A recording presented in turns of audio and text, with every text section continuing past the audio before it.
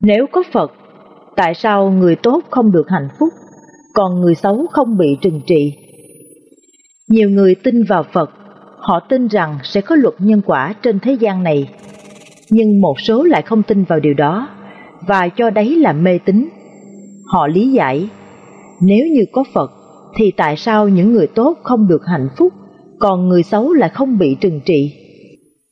Vậy Phật là gì và có thật ở trên đời này không? Chúng ta được dạy rằng Phật nghĩa là giác ngộ. Đức Phật là người đã giác ngộ được chân lý của cuộc đời, đã trải qua hết thảy các kiếp nạn của thế gian, đã hiểu đủ các nỗi thống khổ của con người. Ở trên chùa, người ta thường được nghe cả một câu chuyện dài về cuộc đời của người trước khi trở thành Đức Phật, như chúng ta vẫn gọi. Nhưng để tin và hiểu được điều đó thì có lẽ vẫn là một chặng đường dài sống và khám phá sự đời. Tất cả chúng ta, ai cũng vậy, thường dễ tin vào cái hiện hiện trước mắt thay vì nghe người khác nói. Nhưng còn luật nhân quả, điều đó chắc chắn có thật. Khi vào chùa tu, chúng tôi thường kể chuyện cho nhau nghe. Một pháp lữ bảo, Hồi nhỏ, chị khoái nhất là bắt chuồn chuồn, ngắt đuôi của nó, rồi cắt tua giấy kiến nhiều màu, xe nhọn một đầu, nhét vào ruột chuồn chuồn, thả nó bay lên. Chị thích chí nhìn đuôi giấy đủ màu bay lượn giữa trời. Chị không biết làm vậy là con chuồn chuồn đau ruột, cũng không hiểu nó đau như thế nào. Cho đến năm hơn 20 tuổi, chị bị viêm ruột, rồi về già thì ung thư ruột. Bỗng dưng chị lại nhớ và thấu hiểu nỗi đau của con chuồn chuồn. Trên đây chỉ là một trong số rất nhiều câu chuyện về luật nhân quả. Dân gian ta vẫn có câu, gieo nhân nào gặp quả ấy, gieo gió gặp bão. Họ vẫn luôn tin rằng có một tòa án tối cao trừng phạt những tội ác của con người mà mắt thường không thấy được. Mọi việc xảy ra đều có nguyên nhân, dù tốt đẹp hay tồi tệ, tích cực hay tiêu cực, thì nó cũng là kết quả của những hành động trước đó. Đọc đến đây có lẽ sẽ có người nói rằng khối người giết chóc, khối người sát sinh mà vẫn sống nhẫn nhơ, ăn nên làm ra có khổ báo gì đâu. Phật từng giải thích rằng quả báo có khi trả sớm, có khi trả muộn, đã làm điều xấu, ắt sẽ gặp điều chẳng lành. Thật sự nếu để ý, ta sẽ thấy những người đang sống hiền thiện mà xoay qua làm ác trả quả rất nhanh Quả này xảy ra như một cảnh báo, giúp họ đình chỉ việc ác và hồi đầu. Giống như chiếc áo trắng vừa mới bị lem vài vết mực, được chỉ để tẩy ngay. Có những người cả đời làm ác, song do một biến cố nào đó khiến họ thức tỉnh, xoay qua làm thiện mạnh mẽ. Đó là nhờ duyên lành đời trước nên họ còn được cảnh tỉnh để quay về với nẻo thiện. Còn người làm ác quá nhiều mà không thấy trả gì thì quả sẽ trả sang đời sau. Khi phúc hưởng hết thì họa ập tới còn thê thảm hơn. Phật luôn nhắc nhở môn đệ Ngài, nên sống chánh nghiệp, không sống tà nghiệp. Chánh nghiệp là những nghề đem đến lợi ích cho mình và người. Tà nghiệp là những nghề kiếm ra tiền trên đau khổ của người và vật. Còn nếu nói, vì nghèo nên phải sống tà nghiệp thì sao? Tội bỗng nhớ câu, trời Phật không triệt đường của ai cả. Nếu người ấy thật lòng muốn sống thiện, thì niệm lành trong tâm sẽ chiêu cảm, giúp họ có cơ may hành thiện nghiệp. Vậy nếu có luật nhân quả, tại sao có những người tốt không được hưởng cuộc sống hạnh phúc? Trong mỗi con người chúng ta thường có hai mặt thiện và ác. Vì cái ranh giới giữa thiện và ác nó thật mong manh, tùy nó đối lập nhau nhưng luôn tồn tại song song trong một con người. Trong đạo Phật, thấy việc tốt dù nhỏ nhất mà không làm, thấy việc ác dù nhỏ nhất mà không tránh, cũng như phạm tội. Vậy ai dám khẳng định rằng mình là hoàn hảo? Ai dám nói mình đã đối xử tốt với tất cả chúng sinh? Có ai mà chưa từng làm điều xấu, chưa từng nhìn thấy việc nên làm mà không làm? Vậy nên, nếu bạn chưa được hạnh phúc hãy tu tâm tích đức. Cuộc sống hạnh phúc hay không là ở cái tâm của mình có được thanh thản hay không. rửa sạch nghiệp, tâm mới thanh bình.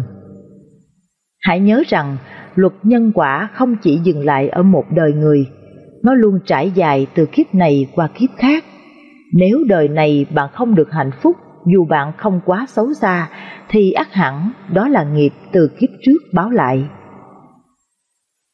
Luật nhân quả rất linh nghiệm và không trừ một ai, gieo nhân nào gặt quả ấy.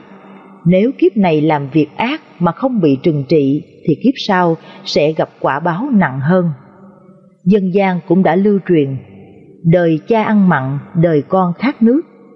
Nếu kiếp này ăn ở tốt mà chưa được hưởng hạnh phúc, ắt do tâm còn nhiều vướng bận, còn nhiều dục vọng. Nếu tu tốt sẽ để lại duyên lành cho đời sau. Thiện căn cốt ở lòng ta, chữ tâm kia mới bằng ba chữ tài.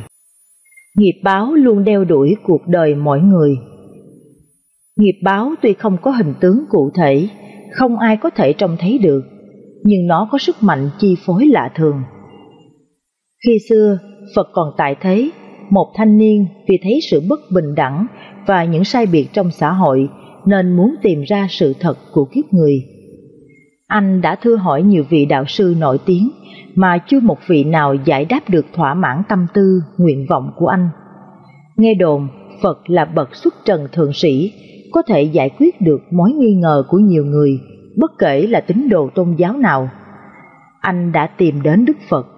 Sau khi đảnh lễ và vấn an Đức Thế Tôn xong, anh cung kính ngồi sang một bên, thưa hỏi Đức Phật. Vì cớ sao có sự bất công và sai biệt quá lớn của tất cả chúng sinh trên thế gian này, kẻ quý phái cao thượng, người hạ liệt thấp kém, người sống lâu, kẻ chết yểu, người giàu sang, kẻ nghèo khổ, người nhiều bệnh, kẻ ít bệnh, người quyền cao chức trọng, kẻ nô lệ thấp kém, người đẹp đẽ dễ thương, kẻ xấu xí khó nhìn, người thông minh sáng suốt, kẻ thì ngu dốt tối tâm. Đức Phật tóm gọn lại bằng một ý chính như sau. Này chàng thanh niên, các chúng sinh loài có tình thức là chủ nhân của nghiệp, là kẻ thừa tự của nghiệp. Họ được sinh ra từ nghiệp và họ bị nghiệp trói buộc. Do đó, hiện tại có kẻ thấp hèn và cao thượng tùy theo nghiệp nhân tốt xấu đã gieo tạo trong quá khứ. Đức Phật trả lời quá xúc tích và cô động làm chàng thanh niên không thể hiểu rõ nghĩa lý sâu xa, nên mới yêu cầu Đức Phật giải thích cụ thể từng chi tiết. Phật dạy, tất cả mọi sự sai biệt giữa con người và con người là do nghiệp của ta đã tạo ra từ thân miệng ý, tâm suy nghĩ chân chính, miệng nói lời thiện lành, thân đóng góp sẻ chia thì được hưởng quả an vui hạnh phúc. Ngược lại, gieo nhân xấu ác thì bị quả sa đọa khổ đau, không ai có quyền xen vô chỗ này để định đoạt và sắp đặt. Nên có người tốt, kẻ xấu là do mình tạo ra. Do tạo nghiệp gì khiến con người thọ mạng lâu dài, sống khỏe mạnh, và do tạo nghiệp gì khiến cho người chết yểu, thọ mạng ngắn ngủi. Người không tạo nghiệp giết hại chúng sinh thì được mạng sống lâu dài. Người tạo nghiệp sát sinh hại vật dứt mạng sống của chúng sinh, nên bị chết bất đắc kỳ tử do tai nạn gây ra hoặc bị người vật hại lại. Do tạo nghiệp gì thân người được khỏe mạnh và do tạo nghiệp gì mà thân hay bệnh tật đau yếu. Do nghiệp ác hay hành hạ đánh đập chúng sinh làm cho người đau khổ, nên thọ thân hay bệnh tật đau yếu và do nghiệp lành an ủi giúp đỡ, sẻ chia và nâng đỡ người bất hạnh khổ đau qua những tai nạn khốn khó, nên được thọ thân khỏe mạnh vui tươi. Do tạo nghiệp gì mà sinh ra trong gia đình giàu sang sung sướng có nhiều tiền bạc, tài sản, của cải, và do tạo nghiệp gì mà sinh ra trong gia đình nghèo khổ, thiếu thốn, khó khăn, do đời trước biết làm điều thiện lành tốt đẹp hay bố thí cúng dường hoặc chia sẻ giúp đỡ người nghèo khổ bệnh tật nên đời này được sinh ra trong gia cảnh giàu sang sung sướng có nhiều tiền bạc của cải Người ở đời trước do nhân không biết bố thí cúng dường, không biết giúp đỡ người bất hạnh nghèo khó, lại còn hay gian tham trộm cướp, lường gạt của người. Nên đời này sanh ra trong hoàn cảnh cơ cực, nghèo đói, thiếu thốn, khó khăn. Do nghiệp gì người sinh ra được thông minh sáng suốt và do nghiệp gì người sinh ra lại ngu dốt tối tâm. Người đời trước do siêng năng tinh cần học hỏi, tìm hiểu chân lý, ưa thích giúp người được học hỏi hiểu biết, nên đời này được thông minh sáng suốt. Người ở đời trước do lười biếng học hành, không chịu tìm hiểu chân lý, lẽ thật của cuộc đời, lại hay cản ngăn sự học hỏi của người khác, nên đời này bị vô minh tối tâm mê mờ. Phúc báo và nghiệp báo ẩn hiện trong cuộc đời mỗi người, nó chẳng bao giờ rõ ràng như làm phép toán, nhưng nó cũng chẳng bao giờ mất đi như chưa từng tồn tại. Một người kiếp này làm điều ác sẽ có thể có ba loại kết quả xảy ra. Nếu như ác báo không triệt tiêu hết phúc báo, thì người đó đương nhiên có thể tiếp tục hưởng thụ phúc báo của mình. Người đó sẽ thăng quan lên đến chức vị mà họ đáng được hưởng mới dừng lại hoặc sẽ kiếm được nhiều tiền đến mức mà họ nên được. Mãi cho đến lúc mà người này đã hưởng hết phúc báo của mình thì mới đến thời điểm bắt đầu làm ác gặp quả báo. Tức là trong kiếp này, người đó đã hưởng hết phúc báo của đời trước và phúc báo của đời này, sắp đến lúc gặp ác báo. Chẳng qua là chưa đến nên người ngoài nhìn vào nghĩ lầm là không gặp. Nếu như kiếp trước người này làm việc đại thiện, đại đức, nên phúc báo của họ vô cùng lớn. Kiếp này họ có làm việc ác, nhưng mà ác báo chỉ bằng một phần rất nhỏ của phúc báo mà người đó làm từ kiếp trước, thì cả đời họ vẫn sống suôn sẻ. Vì vậy, ở kiếp này, chúng ta nhìn sẽ thấy người này tuy có làm việc ác, nhưng lại không thấy bị ác báo. Trong trường hợp phúc báo nên được hưởng sắp hết, mà việc ác đã làm lại tích tụ quá nhiều, lúc này là thời cơ ác báo đã chín mùi. Phúc báo kết thúc và người này bắt đầu phải chịu ác báo, như sống thê thảm, đột nhiên bị bệnh tật, tai nạn bất ngờ mà chết, hối hận không kịp.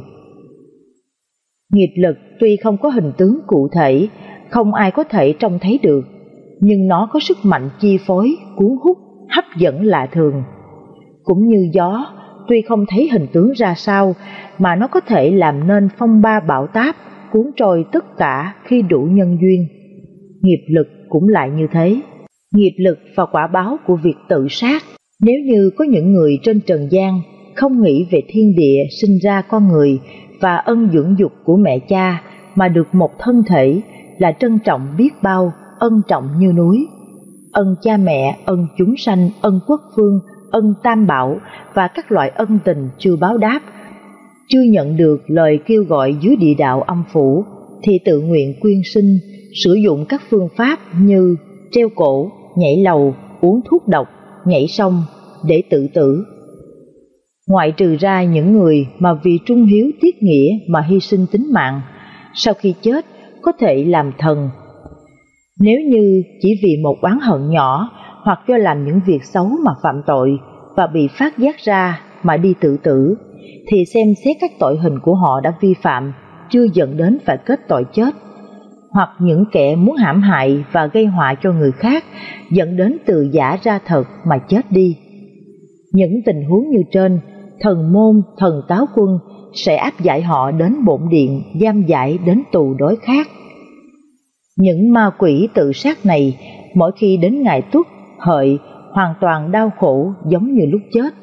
Tất cả các cảnh tượng đau khổ căn cứ như lúc chết ban đầu tái xuất hiện lần nữa. Có một số là sau 70 ngày, có một số sau 1 đến 2 năm, hồn phách của họ bị áp giải quay lại địa phương nơi họ tự sát, chịu sự hối hận tra tấn rất khổ sở. Tuy nhiên, họ không được nhận các đồ cúng bái như cơm canh, giấy tiền và vàng bạc nếu như những hồn ma tự sát mà biết sám hối, cam tâm ẩn giấu, không xuất hiện hình ma để hù dọa người, cũng không tìm người thế thân loạn xạ. Như vậy, chờ đến lúc người mà do họ gây ra bị liên lụy đã thoát khỏi liên lụy đau khổ, thì thần môn, thần táo quân sẽ áp giải những tội phạm ma đến bổn điện, rồi sẽ chuyển tiếp đến điện thứ hai. Sau đó, kiểm tra lại quá khứ và công đức của họ, gia tăng hình phạt, chuyển đến các điện kế tiếp, đưa đi các địa ngục chịu hình phạt.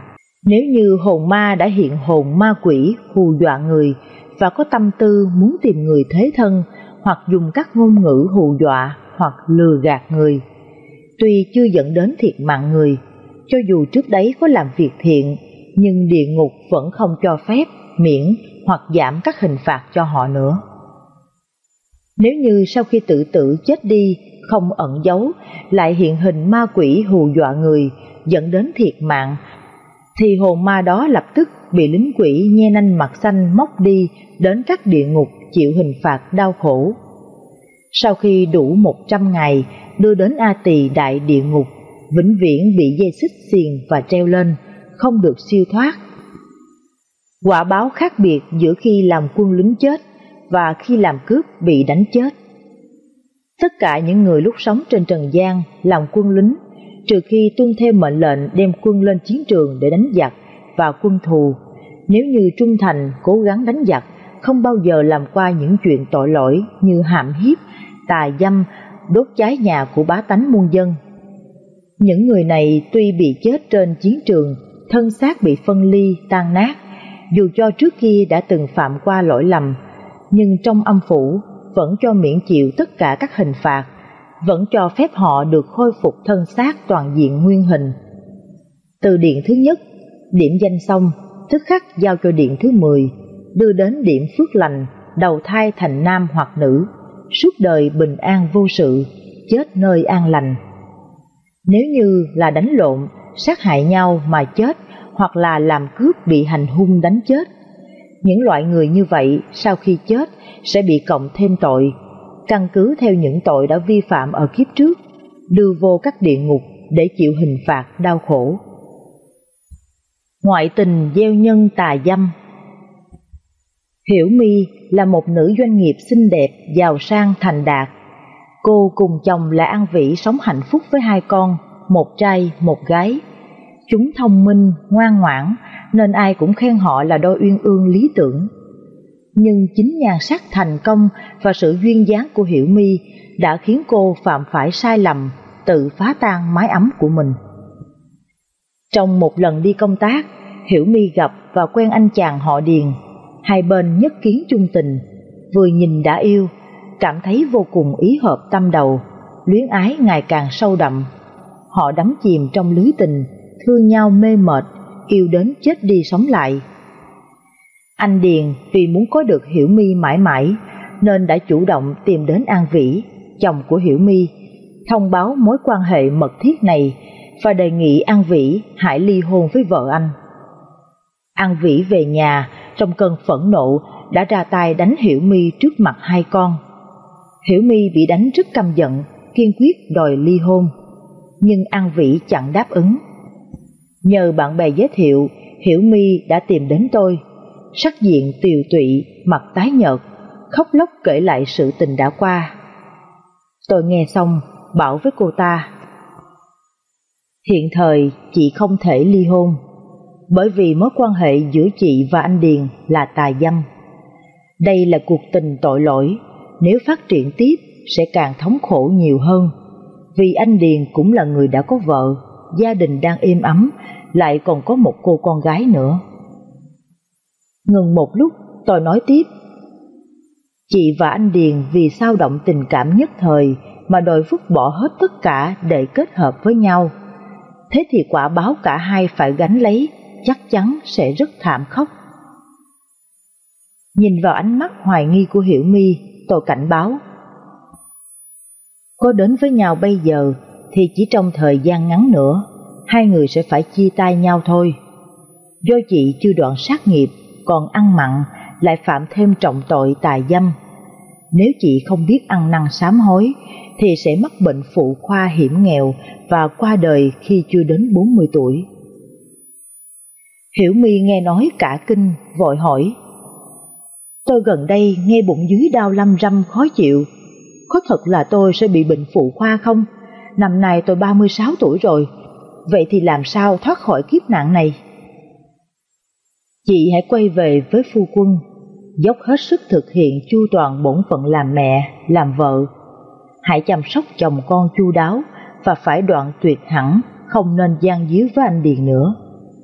Kể từ hôm nay, chị phải tụng 49 bộ kinh địa tạng, lo ăn chay, phóng sinh, nghiêm trì ngũ giới, siêng học Phật, tu hành. Hiểu My nghe xong gật đầu nói, tôi sẽ về nhà làm đúng như lời cô chỉ dạy. Nửa tháng sau, Hiểu My mặt mày hồng hào tươi tắn, đến thăm chúng tôi. Vừa gặp, cô đã nắm tay tôi và nói, Hiện tại tôi đã cắt đứt, không còn gặp anh Điền nữa. Chị hãy nhớ kiên trì tụng kinh hồi hướng, dứt ác hành thiện, trì giới tu hành, xem như đổi mới cuộc đời lại hết từ đây. Hai tháng sau, cuộc sống Hiểu My đã chuyển biến tốt. Hằng ngày chị tụng kinh sám hối những lỗi lầm trước đây và âm thầm hành thiện tích đức. Không những thế, cả nhà chị đã bắt đầu ăn chay học Phật. Cuộc sống gia đình trở nên ấm êm hạnh phúc. Nhờ vậy, các con đều vui khỏe, trưởng thành, thăng tiến. Phần anh Điền, ban đầu không cam tâm bỏ cuộc, không chịu rời xa Hiểu My. Tôi phải giải thích, khuyên lơn, phân tích đủ điều, cuối cùng mới dàn xếp ổn thỏa. Kể lại câu chuyện này, tôi mong rằng các mái ấm trong nhân gian luôn sống hòa thuận an vui. Hy vọng tất cả cặp vợ chồng sẽ thủy chung, đối với nhau tương thân tương ái. Xin quý vị đừng vì sao động nhất thời mà phát sinh ngoại tình. Quả báo của tài dâm rất đáng sợ, không những người mất nhà tan còn chiêu lấy thảm báo ở địa ngục. Khi khởi tâm ngoại tình hay nuôi dưỡng ý tà là quý vị đang tự phá tan phúc báo hiện có, nghĩa là tài lộc quyền đều bị sạc. Ai cũng tưởng chỉ có sát sinh mới đoạn mệnh, nhưng thật ra tài dâm cũng chiêu cảm lấy các bệnh hiểm nghèo, tán tài, mất phúc lộc và đoạn mệnh. Chưa kể sau khi chết rồi còn vào địa ngục thọ hình chịu khổ. Xin mọi người hãy nghiêm trì giới luật, chẳng nên để ngoại cảnh dụ dỗ. Nếu người đã lỡ phạm vào tài dâm thì ngay nơi đây phải hạ quyết tâm từ bỏ, tha thiết sửa đổi lỗi trước, phát nguyện sám hối, vĩnh viễn không tái phạm. Như vậy mới có thể chuyển đổi vận mệnh mình thành tốt đẹp được.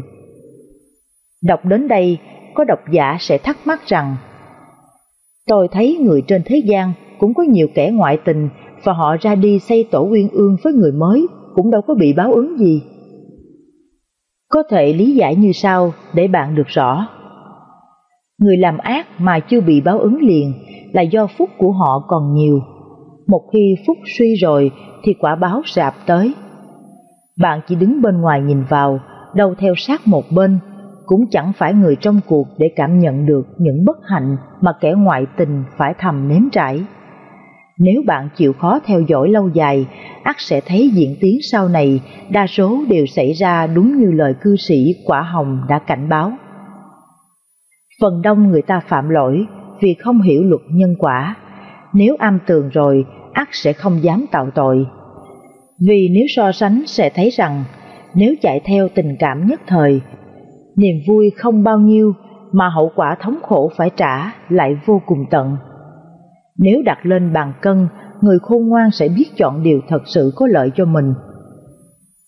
Tác giả Quả Hồng, dịch giả Hạnh Đoan, trích từ quyển báo ứng hiện đời. Tại sao Hiểu My lại phải nhờ cư sĩ Quả Hồng tư vấn? Xin được nói sơ lược về cư sĩ Quả Hồng. Quả Hồng ban đầu theo thọ giáo cư sĩ Quả Khanh, được Quả Khanh hướng dẫn dìu dắt. Cô chí thành hành trì Pháp Phật và trở thành đệ tử của Hòa Thượng Tuyên Hóa. Tuy là cư sĩ tại gia còn trẻ, nhưng nhờ cô nghiêm trì giới luật miên mật nên đã khai mở tuệ nhãn, được túc mệnh minh, có khả năng nhìn thấu ba thời, quá khứ, hiện tại, tương lai. Tuy là vậy, nhưng cô không dùng nó để khoe khoang mà tùy duyên gỡ rối, giúp người đoạn trừ tập khí xấu, tu tiến bộ hơn. Trong lời tâm sự, tự thuật quả hồng không nói nhiều về khả năng của mình, nhưng theo tôi biết thì mỗi khi ai đến với cô và nêu lên thắc mắc thì tất cả những gì họ đã làm trong quá khứ hoặc nhiều kiếp trước sẽ hiện ra trước mắt cô như một cuộn phim. Và cô thấy rõ những hành vi lỗi lầm trong quá khứ hay hiện tại của họ sẽ khiến cho họ phải chịu báo ứng trong tương lai như thế nào.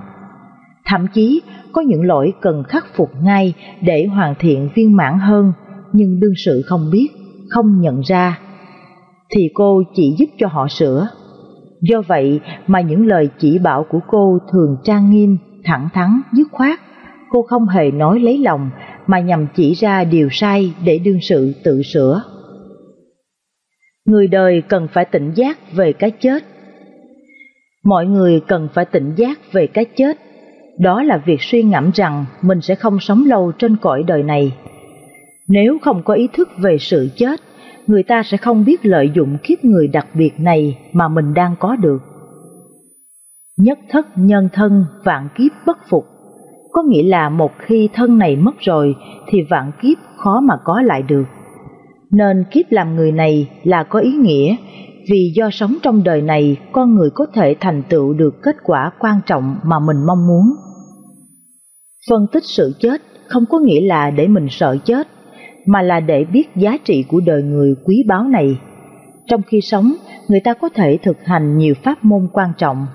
Thay vì sợ chết, bạn cần phải suy ngẫm rằng khi cái chết đến gần, mình sẽ mất cơ hội tốt để tu tập. Như vậy, suy ngẫm về sự chết sẽ mang lại thêm năng lực cho việc tu tập của bạn. Bạn cần phải chấp nhận rằng sự chết là điều tất yếu trong cuộc đời này Đức Phật đã khẳng định rằng một nơi không có sự chết là nơi không có thật, không có trên hư không, không có trong biển cả, cũng không có cả trong núi rừng.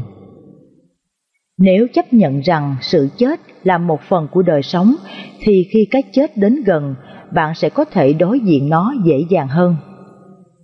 Khi mọi người biết một cách sâu xa ngay trong tâm mình rằng sự chết sẽ đến, nhưng tránh suy nghĩ đến nó, rõ ràng là không hiểu biết và không có lợi ích. Điều này cũng đúng khi mọi người chấp nhận rằng tuổi già là một phần của cuộc đời, không muốn có tuổi già và tránh nghĩ về nó. Thái độ như vậy đưa đến sự không chuẩn bị về tâm trí và khi tuổi già đến, mọi thứ sẽ rất khó khăn. Nhiều người đã già rồi nhưng vẫn làm như là mình còn trẻ lắm.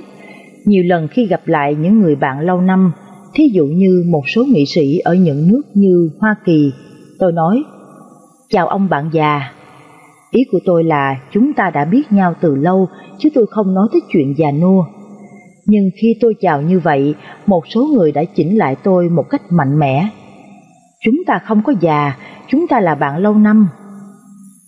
Thật sự họ đã già, với những sợi lông đang mọc ra ở hai lỗ tai, một dấu hiệu của tuổi già nhưng họ khó chịu với tuổi già, như vậy là thiếu suy nghĩ về sự đời. Tôi thường nghĩ về cuộc đời tối đa là 100 năm của một đời người, mà so với tuổi thọ của trái đất này thì đời sống của con người có là bao?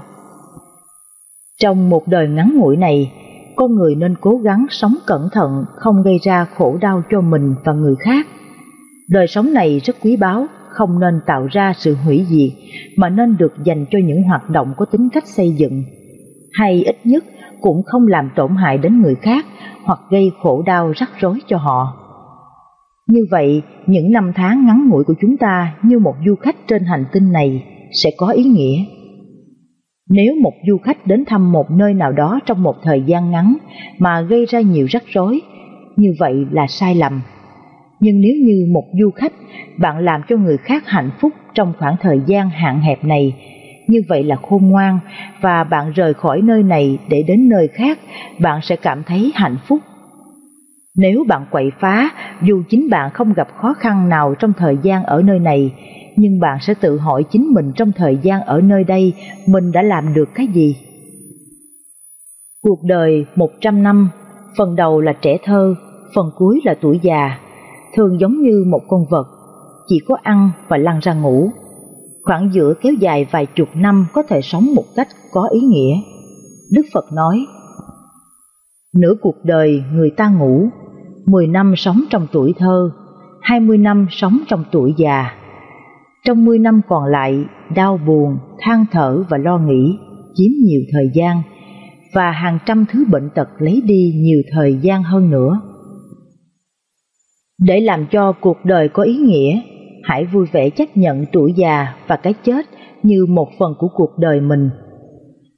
Mọi người gặp khó khăn nghĩ đến cái chết, nhưng lại dễ dàng trong tham lam gây thêm rắc rối và có ý làm tổn hại người khác. Chúng ta thấy những con người được xem là những nhân vật lớn như các bậc vua chúa xây những lâu đài và những tòa nhà cao ốc. Chúng ta thấy rõ ràng trong tâm trí của họ cho rằng họ sẽ sống mãi trong cuộc đời này.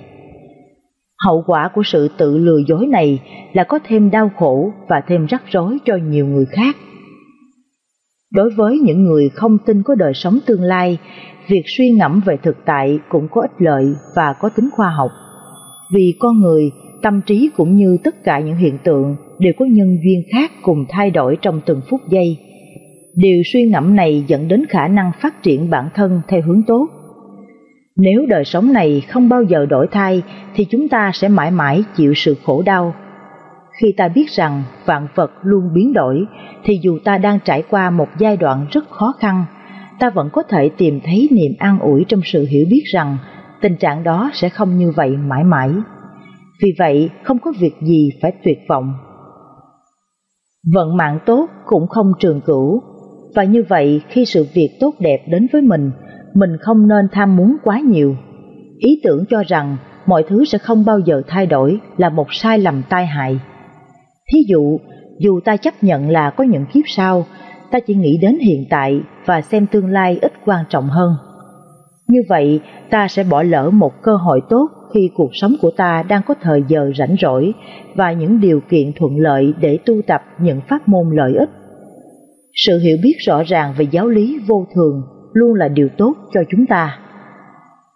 Do nhận thức được đời sống là vô thường, con người có ý thức về kỷ luật và có sự nhiếp phục tâm trí của mình.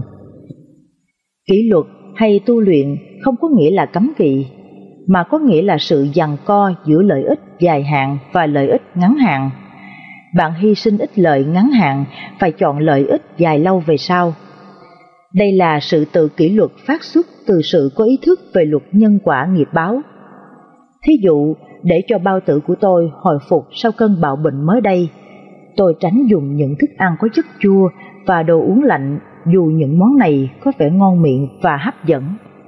Loại kỷ luật này có mục đích phòng vệ.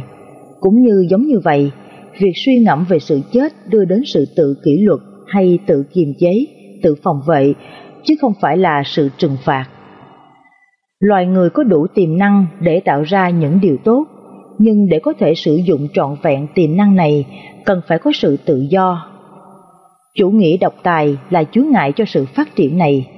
Để bổ túc, tự do cá nhân có nghĩa là bạn không trông cậy vào một cái gì từ bên ngoài và không đợi chờ hiệu lệnh của người khác, mà bạn tự có sáng kiến. Vì vậy, Đức Phật thường nói đến giải thoát cá nhân có nghĩa là tự giải thoát không qua một tổ chức nào. Mỗi cá nhân phải tạo dựng tương lai tốt đẹp cho chính mình, tự do và chủ nghĩa cá nhân đòi hỏi phải có sự tự kỷ luật. Nếu những điều này bị lợi dụng cho những cảm xúc phiền não thì sẽ có những hậu quả tai hại. Tự do và sự tự kỷ luật phải đi đôi với nhau. Mở rộng tầm mắt Theo Phật giáo thì mục tiêu cao nhất của mọi hành giả là đắc thành Phật quả để có năng lực cứu độ chúng sanh. Tuy nhiên, một mức thành tựu trung bình có thể giải thoát hành giả khỏi chu trình sinh lão bệnh tử, đầy khổ đau, một mức thành tựu thấp hơn nhưng vẫn có giá trị ở chỗ làm cho các kiếp sống tương lai của hành giả thuận lợi hơn. Từ việc làm thay đổi các kiếp sống của mình cho tốt hơn, hành giả có thể đạt được giải thoát để rồi cuối cùng sẽ chứng thành Phật quả. Trước hết, tầm mắt của bạn mở rộng bao gồm các kiếp tương lai và rồi do hiểu biết vận mạng của mình, tầm mắt của bạn mở rộng thêm để bao gồm thêm các kiếp luân hồi sau cùng, sự hiểu biết này có thể mở rộng đến những người khác. Qua ý nguyện từ bi, mong cho chúng sanh thoát khổ, và loại trừ nguyên nhân đưa đến khổ đau. Lòng từ bi này là nền tảng thúc đẩy bạn phát nguyện tu tập để thành Phật. Bạn phải có sự quan tâm đến những phương diện sâu hơn của đời sống để có ảnh hưởng đến các kiếp tương lai, hầu có thể hiểu trọn vẹn tính chất của khổ đau và kiếp luân hồi. Tiếp theo, sự hiểu biết về luân hồi đau khổ này là điều kiện cần phải có để phát triển trọn vẹn lòng từ bi. Cũng có thứ tự giống như vậy, người Tây Tạng chúng tôi đang tìm cách đạt được một mức độ tự trị ở Tây Tạng để có thể phục vụ tốt cho người dân tốt hơn. Nhưng chúng tôi cũng đang cố gắng để có đời sống ổn định trong tình trạng sống lưu vong ở Ấn Độ. Sự thành tựu mục tiêu lớn tự trị tùy thuộc vào sự thành tựu tạm thời có đời sống lưu vong ổn định nói trên. Những bất lợi của sự không có ý thức về sự chết Biết rằng mình sẽ chết, đó là điều lợi ích Tại sao? Nếu không có ý thức về sự chết, bạn sẽ không để ý đến việc tu tập mà chỉ sống một cách vô nghĩa, không tìm hiểu những thái độ và hành vi nào gây ra đau khổ và những loại nào đưa đến phúc lạc. Nếu không nghĩ rằng mình có thể chết sớm, bạn sẽ rơi vào ảo tưởng thường tồn rằng còn lâu mình mới chết. Khi đến lúc cuối cùng, dù có cố gắng thành tựu một điều giá trị nào đó, bạn sẽ không còn sức lực nữa nhiều người Tây Tạng gia nhập tu viện khi còn trẻ để học kinh điển, nhưng khi đến lúc tu tập thật sự thì khả năng của họ có phần thiếu hụt. Đó là vì họ không hiểu đúng giáo lý vô thường. Nếu sau khi suy nghĩ về phương pháp tu tập, bạn quyết định áp dụng pháp tu nhập thất mấy tháng hay mấy năm, như vậy bạn đã ứng dụng được nhận thức về lý vô thường của mình nhưng nếu quyết định mau chóng đó không được duy trì bởi việc quán niệm tính chất hủy diệt của vô thường, thì việc tu tập của bạn sẽ nhạt phai đi. Đó là lý do có những người nhập thất nhiều năm nhưng việc tu tập không có ảnh hưởng gì đến đời sống của họ sau đó. Quán niệm vô thường không những thúc đẩy việc tu tập của bạn mà còn tiếp thêm năng lượng cho bạn nữa. Nếu có ý thức mạnh về tính tất yếu và tính bất ngờ của cái chết, thì bạn vận động được từ bên trong, giống như có một người bạn cảnh cáo mình vậy. Hãy cẩn thận, hãy thành tâm, một ngày nữa đã trôi qua. Có thể bạn xuất gia sống trong tu viện, như vậy bạn đã có pháp danh và y phục của người tu sĩ. Bạn sẽ có những hoạt động bận rộn ít hơn. Bạn sẽ thay đổi thái độ với đời sống, hướng sự chú tâm của mình đến những mục tiêu xa hơn.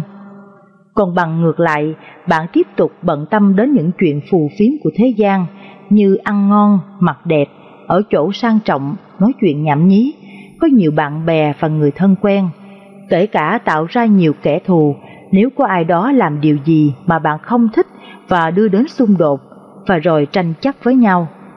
Như vậy, bạn không có gì tốt hơn trước đây, lúc chưa xuất gia, và có lẽ còn tệ hơn trước đó nữa. Nên nhớ, nếu chỉ tránh những sinh hoạt phù phiếm vì sợ các bạn đồng tu đánh giá thấp mình thì cũng chưa đủ, mà phải có sự chuyển hóa từ bên trong.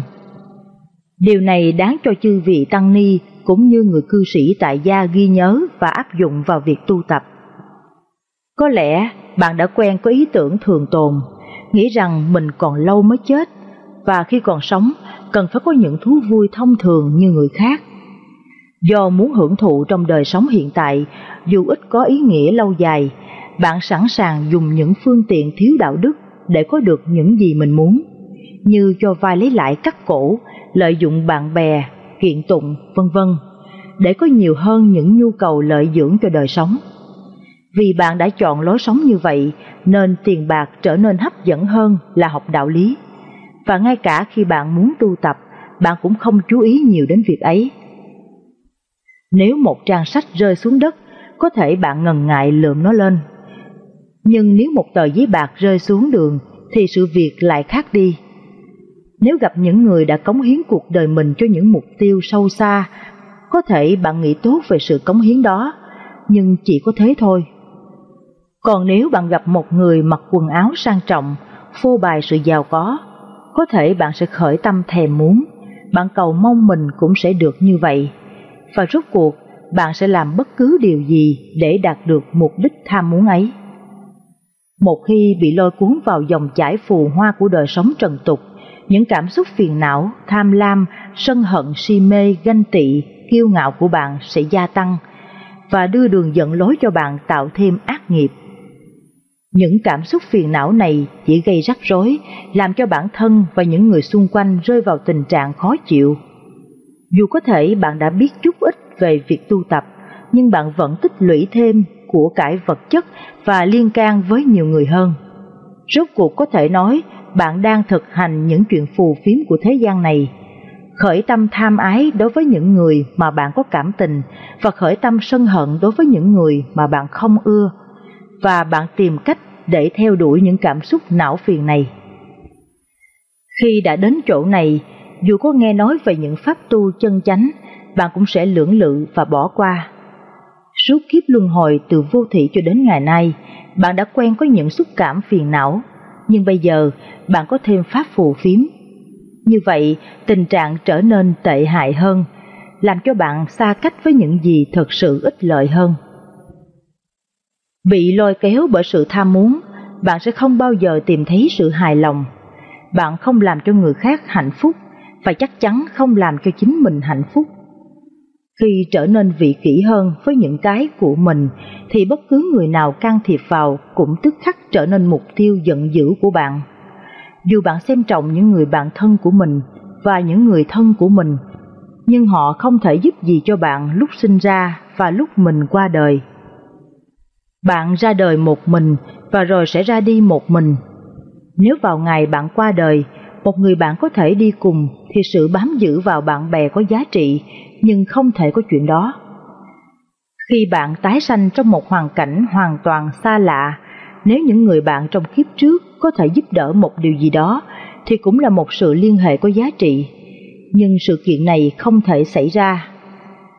Vậy mà trong khoảng thời gian giữa lúc ra đời và lúc chết, kéo dài mấy chục năm, những người bạn đó là bạn của mình, anh chị em của mình.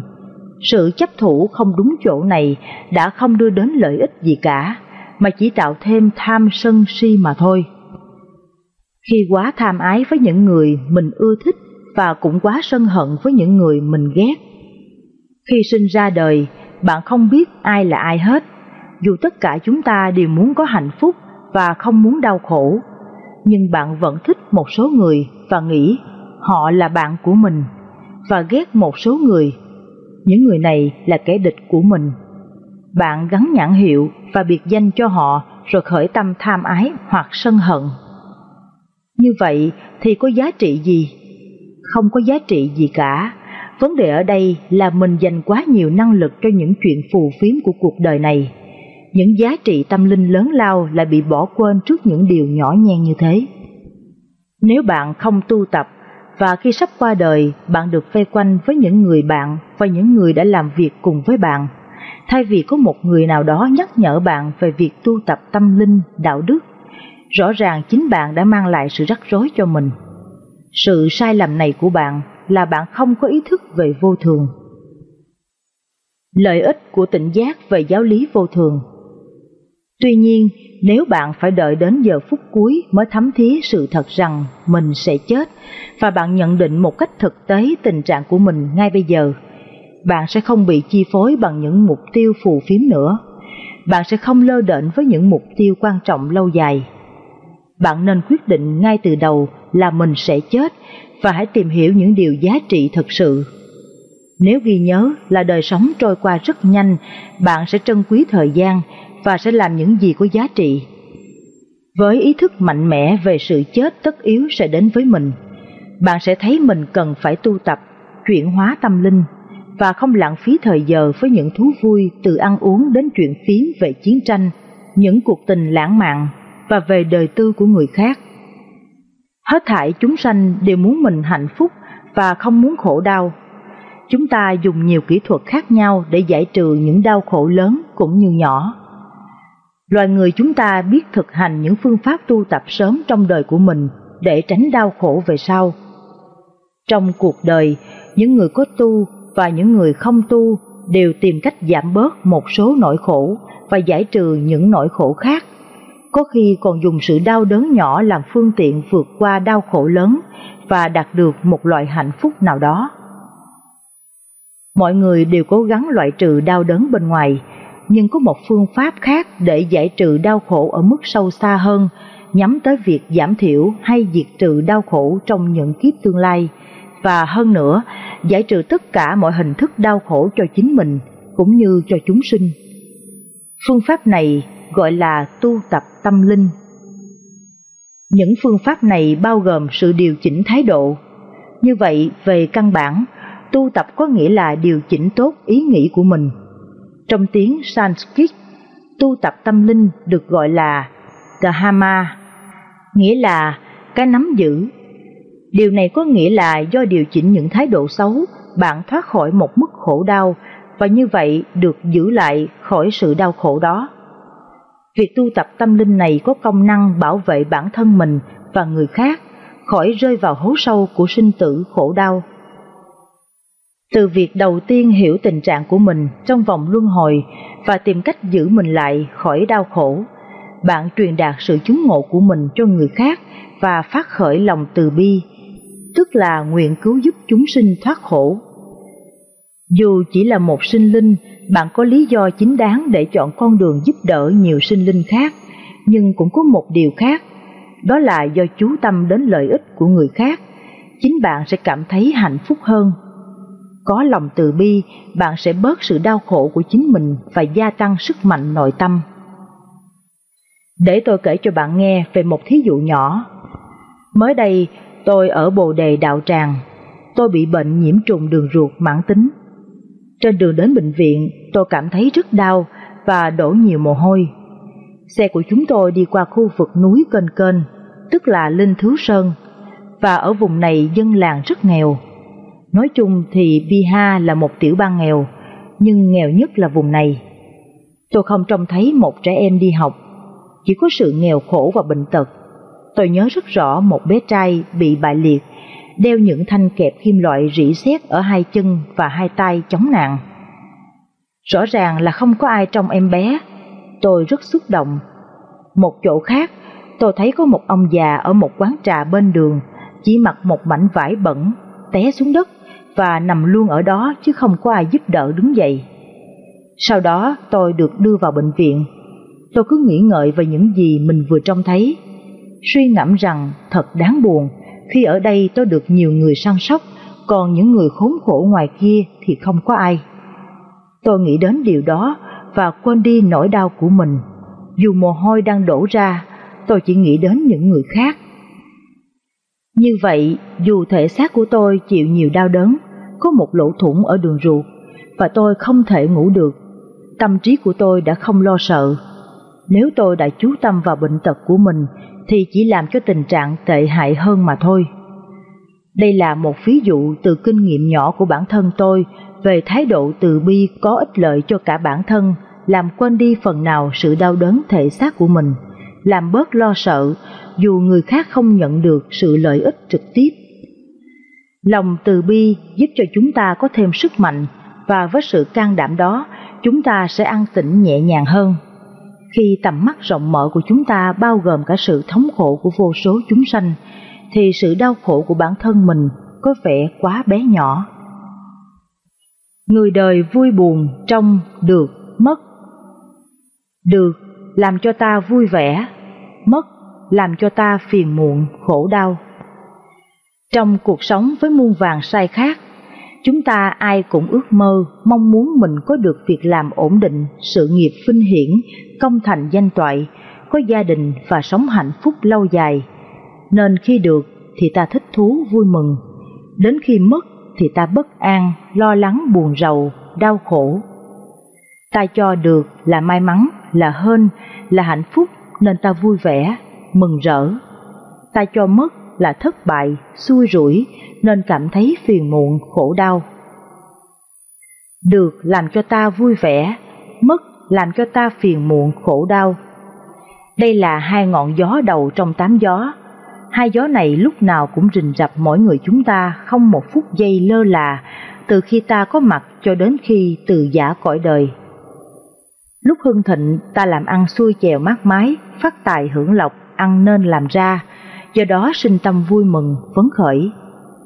Khi bị sa cơ thất thế, thua kém lỗ lã, thì lại buồn rầu, lo lắng, cảm thấy bị mất mát, đau thương, rồi sinh ra phiền muộn, đau khổ.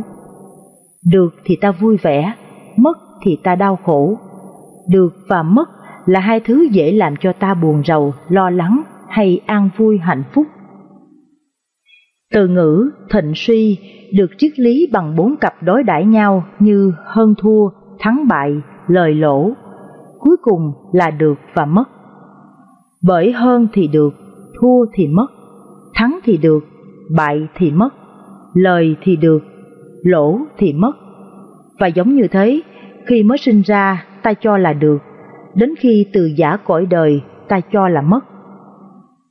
Hai ngọn gió được mất này luôn theo ta mãi, nhưng được thì ít mà mất thì nhiều, bởi lòng tham lam ích kỷ vô bờ bến. Khi gặp thất bại, bị thua lỗ thiệt thòi, mất mát, ta sa sút suy sụp vì phiền muộn khổ đau, xâm chiếm tâm hồn. Lúc được thời thì lên như diều gặp gió, ta cảm thấy hân hoan, vui vẻ, hạnh phúc, nở mặt nở mày với ông bà cha mẹ, sung sướng hãnh diện với bạn bè người thân. Những lúc vui thú như vậy, ta cảm thấy thân tâm an lạc, nhẹ nhàng. Đến khi thất bại, tán gia bại sản, tài sản chỉ trong thoáng chốc tan thành mây khói, làm cho ta cuồng tâm loạn trí, sống dở chết dở như kẻ điên khùng, có khi còn muốn quyên sinh tự tử để chạy trốn khổ đau. Cuộc sống mưu sinh với không biết bao nhiêu mồ hôi và nước mắt, ta vật lộn với đời để tìm kế sinh nhai, chỉ để giành được một chút hy vọng mỏng manh là nhà cao cửa rộng, gia đình hạnh phúc, nên luôn cố gắng đấu tranh sống còn. Thường thì cái mất nhiều hơn sự được. Do đó, chúng ta dễ dàng sa ngã trong tối tâm, si mê mờ mịt. Nếu ta không có chút lòng tin nơi cuộc sống, không có ý chí và nghị lực, thì ta sẽ là người gục ngã trước tiên bởi cuộc sống không đơn giản và dễ dàng như ta tưởng. Có một người họ tái, nên người ta thường gọi là tái ông. Một hôm, con ngựa yêu quý và tốt nhất trong nhà đi đâu mất biệt, không thấy trở về. Nghe tin hàng xóm mới đến chia buồn và nói lời an ủi. Tội nghiệp cho cụ quá, cụ là người nhân từ, phúc hậu từ xưa nay, vậy mà có con ngựa quý lại bị mất. Lúc đó, tái ông mỉm cười nói, cũng chưa chắc như thế đâu, nhiều khi trong cái rủi đã có cái may. Vài ngày sau, con ngựa đi mất trở về và còn dắt theo con ngựa khác đẹp đẽ hơn.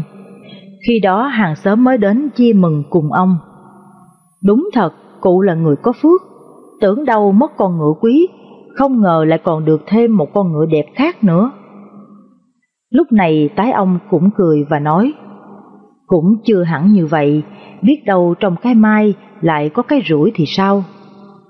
Và đúng là rủi thiệt, con trai duy nhất của ông từ ngày có con ngựa mới đến nhà nó vui vẻ thích thú quá nên cưỡi ngựa suốt ngày, do đó bị té gãy chân phải bó bột. Thấy vậy, hàng xóm mới đến chia buồn. Thật tội nghiệp cho cụ, cụ chỉ có đứa con trai duy nhất mà bây giờ lại bị gãy chân, chịu tàn tật suốt đời. Như vậy là trong cái may mắn lại có cái xui xẻo, phải không thưa cụ? Cái ông không vì thế mà buồn phiền, ông nói, cũng chưa chắc đâu, biết đâu trong cái rủi lại có cái mai thì sao? Chừng vài tháng sau, vì có giặc giả khắp nơi nên nhà vua bắt thanh niên đi lính thú. Cậu con trai đó nhờ bị gãy chân nên được ở nhà sống với cha già trọn vẹn. Chuyện được mất là lẽ đương nhiên trong cuộc đời. Ai có đầy đủ phước duyên lắm nên mới ít gặp chuyện rủi ro xui xẻo. Người đời khi được thì sinh vui mừng, khi mất thì sinh phiền muộn, khổ đau. Chúng ta thử làm một bài toán nhân quả xem sao. Nếu kiếp trước ta tạo ít phước báo mà gây nhiều nghiệp ác thì cuộc sống hiện tại ta gặp nhiều gian nan trắc trở chẳng được gì. Ta muốn cuộc sống được nhiều hơn mất thì ngay bây giờ phải biết gầy dựng từ lòng tin sâu nhân quả, phải tích cực tu tâm dưỡng tánh, làm nhiều việc phước thiện. Chúng ta sống bằng tất cả tấm lòng phát xuất từ ý nghĩ cho đến lời nói mà thể hiện ra hành động chân chính để cùng mọi người sống bằng trái tim yêu thương và hiểu biết.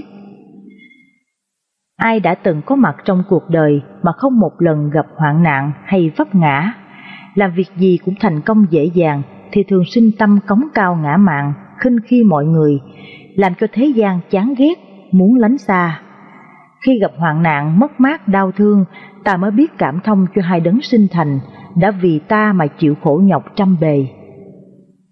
Tái ông khi lần đầu tiên mất ngựa, ai cũng nghĩ ông sẽ đau khổ, buồn rầu, nên đến để ăn ủi và chia buồn cùng ông. Vậy mà ông vẫn bình thản an nhiên, chẳng tỏ ra thái độ gì có vẻ buồn phiền, nên mới nói, biết đâu trong cái rủi lại có cái may. Ông sống lạc quan yêu đời như thế nên không bị hai ngọn gió được mất làm lai động tinh thần. Do đó luôn sống vui vẻ, thoải mái. Tương tự như thế, khi có thêm con ngựa đẹp do con ngựa mất dắt về, ông cũng không vì thế mà hân hoan vui mừng. Chúng ta khi được thì vui, khi mất thì buồn, nên niềm vui, nỗi buồn lúc nào cũng xâm chiếm tâm hồn. Có khi chúng ta làm cho ta thất điên bác đảo, có khi làm ta cảm thấy vui mừng, thích thú. Cứ như thế, ta luôn bị hai ngọn gió được mất này làm cho vui buồn lẫn lộn. Trong cuộc sống, ai cũng thích được đầy đủ tiền tài, sắc đẹp, danh vọng, ăn ngon, ngủ nhiều. Nên khi được thì mọi người thích thú, vui vẻ, phấn khởi, hả hê, cho đó là niềm an vui hạnh phúc. Chính vì vậy mà ai cũng mong kiếm thật nhiều tiền để hưởng thụ lạc thú dù chúng ngắn ngủi qua mau. Khi gặp cảnh làm ăn thua lỗ, mất mát, suy sụp thì phiền não, khổ đau, cứ thế chất chồng theo ngày tháng. Có những trường hợp thua lỗ mà tán gia bại sản, tan nhà nát cửa, thân bại danh liệt, sự nghiệp chẳng còn. Bao nhiêu công lao gầy dựng gần cả đời người, nhất là những nhà triệu phú, thường hay tự tử vì không đủ sức chấp nhận, chịu đựng